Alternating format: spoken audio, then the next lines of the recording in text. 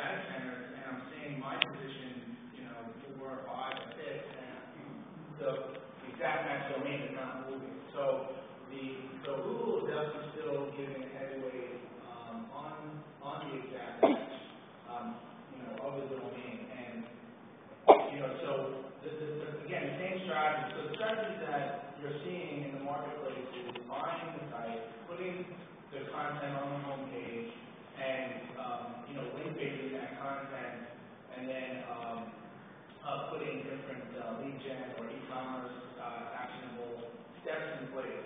Um, I think that the long tail is probably ignored. I never really hear people saying, oh, I'm gonna go buy, um, Los Angeles criminal justice or dot com there in that area, or, um, so the three, four word phrase I really feel is a huge opportunity, especially now with Google's shift in their places, um, where you notice the local box is now, um, a combination of the Google Place as well as the organic results. So I do believe the exact match domain for local-based businesses is definitely gonna have an advantage there. Um, so, um, until they make a change in that, in that algorithm, I mean, it's still gonna be a prominent thing. Now, even if they do make a shift, you still have a situation where if you own the exact match domain, you, in the eyes of other sites, there's a lot of relevancy, so they're gonna link back to that specific domain, because they're like, okay, well, um, mortgage quote, they also talk about mortgage, and they're like, what, let me link to that, because the content is obviously very relevant. Um, Seen running well, but I don't think that gives you the extra thrust as the exact match does.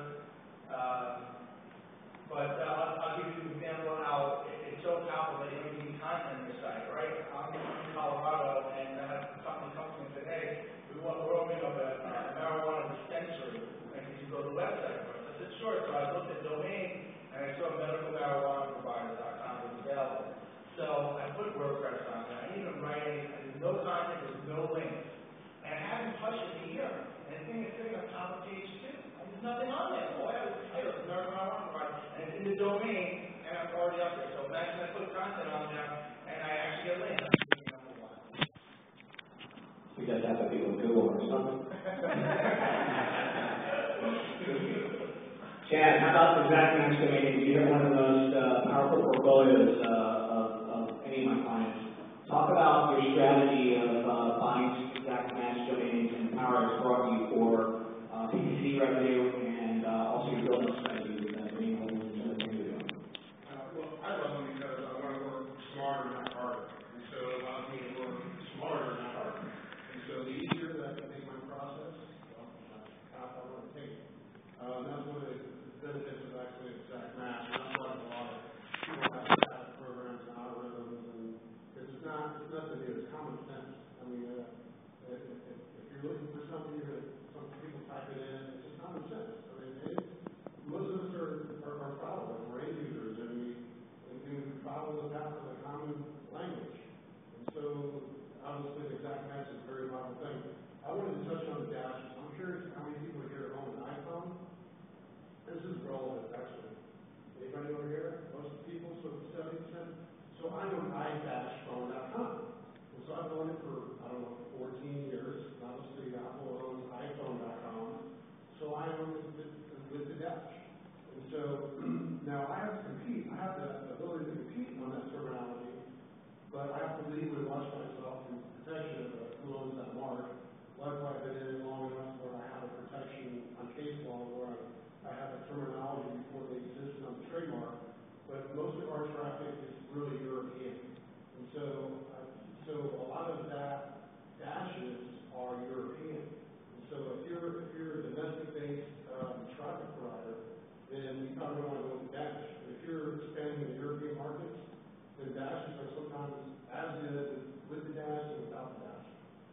I just know that 90% of our trucking I asked for my comments for Europe. So that's just one example. The other thing I think that um, uh, what it gives me is I want dash and job matches to protect my, my investment. So if I have a domain name to attack match, I want to come in there and protect my asset from people like you that are trying to steal my thunder on that particular exact match. So for me to be able to go in and buy into that marketplace, whether it's $100, $1,000, $10, eight dollars. Um, I to be able to go buy that to protect my development on my core development, which might not be a Dodge. So and she's got to really look at um, what is your strategy in the vein and go in there and try and really surround yourself to protect your business as much as you can from everybody else trying to go away from it. And Zach matches and Dashes together are pretty powerful for putting together. Good, to bring up uh, mentioned briefly too. Um, there's the concept of defensive registration and the value of that to your business.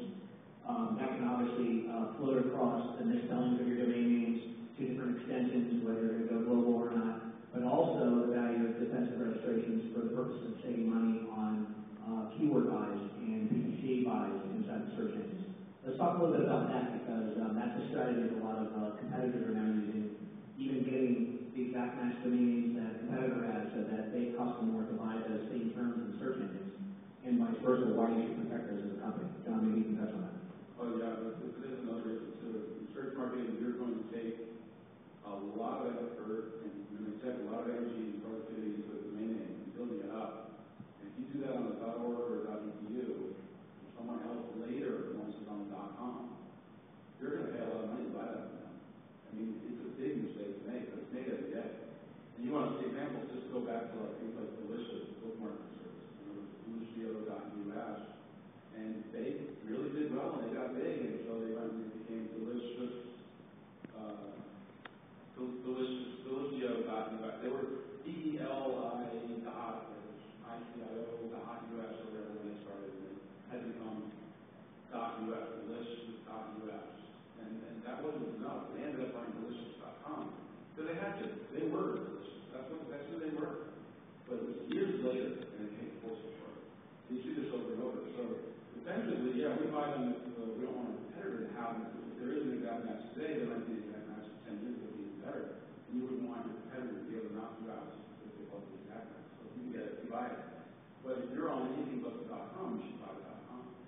And if you think you're gonna grow, you should control the name and grow on, it. and if it just comes up so often, you can do it. that have data algorithms that are doing a sweet, sweet news story. I guarantee there are people around who search it and see if that name is available and they can acquire it for ten bucks. Uh, and even if you don't use it, you still have it as a defense mechanism, so you don't have anything else kind of, uh, tell coding you your success. So this is a very, very strong point and a very important point. Companies are still making these mistakes today. Um, if anybody remembers the Zune product by uh, Microsoft, they didn't own Zune.com. Guess who doesn't own iPad.com? Apple. So uh, it, it's a big mystery how big organizations with huge followings still miss the boat on this. So don't make the same mistake in your own businesses. And just a just a little easy hint that I I, uh, I talk about in almost every presentation I give. There's a very simple exercise you can do to protect your own brands, and that is when you get back to your office or your party leader, have your staff, your friends type in your critical brands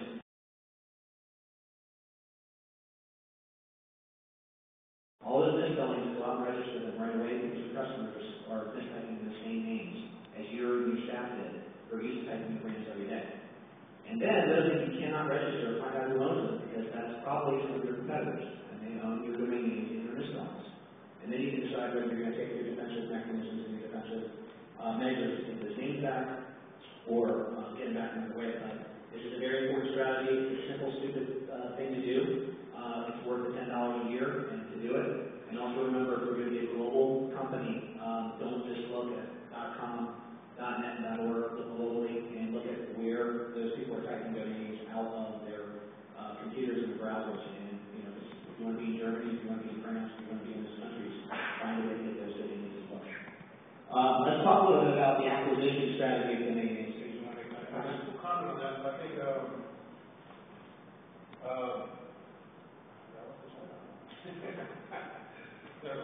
Well, you know, one of the important things is, you know, what do I pay for a domain name that's taken? And, um, the strategy is to build my domain. What's it worth to me? How much should I spend? Am I into the long term or am I into the short term? Is it a defensive registration just to protect my main brand? Or is it something I'm possibly going to launch a product and service off of someday? Let's talk about how we value domains and the strategies to go out and get those domains that we really want. John, let me start with you. Sure, that's a great topic. Um, you know, one of the things, if you're, a lot of people in this room in search marketing, and one of the things to do is you ask your customer, you know, what do he actually do? And they tell you, and it's not even on their web page, you know. Or what's your target term? And they tell you, and it's really not even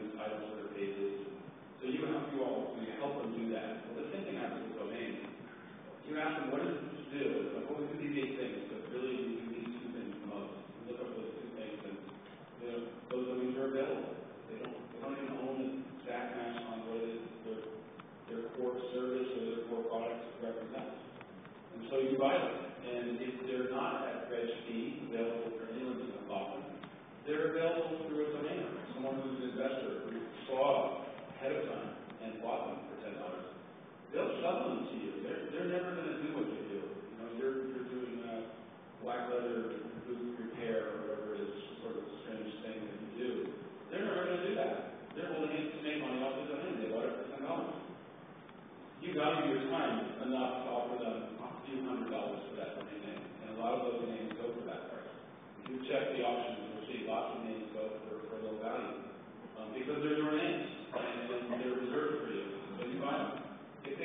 price, um, you start thinking about what it's worth for you today, but I buy domains that are a thousand dollars, uh, pretty.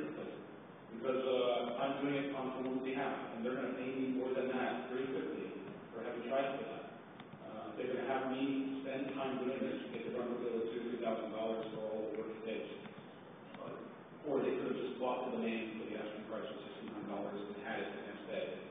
It, it's a, it's an economy, and just be practical about it.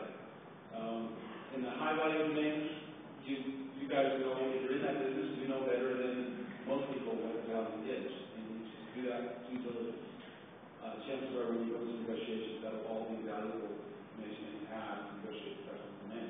So my advice is, you know, the same as you look at content, you, make sure your content represents what it is that you do, so that search engines can rank you. You look at the names the same way. If the names represent what you do, you should own them. It's gonna cost you a few hundred dollars, just do it right away. It's gonna save you a lot of money. It's gonna cost you thousands of dollars, do your homework, just like you would anything else, and figure out if it's worth it to you. And don't shy away from sharing that information in negotiations. You ask yourself to buy a domain, someone says, I want ten million dollars for it, you say, look, I've done the math, and it's worth ten thousand dollars, and here's the math. They can come back and say, I'll, I'll sell it to you for thirty thousand dollars, and then you can say, I'll, I'll give you all of it. You got them down from the million dollar price because you did the homework, and you should have, it's your business, and you know what you're doing. Uh, so that's my advice, just don't shy away, you do have that kind of value, and, uh, if you want it, then you should know, uh, what that value is. Andrew, you, um, you buy domains on a, on an ROI model most of the time based off of, uh, your build-out strategy. Talk a little bit about some of the metrics you use when you're buying domain as, uh, drop domain names in the aftermarket when you're trying to approach a, a- an owner, and how you do your own metrics and multiples to buy that domain name and when you get your returns. Sure. Um, you know, right now, most of these, uh, domains that price out are, I feel like a lot of these guys just take a number out of the air.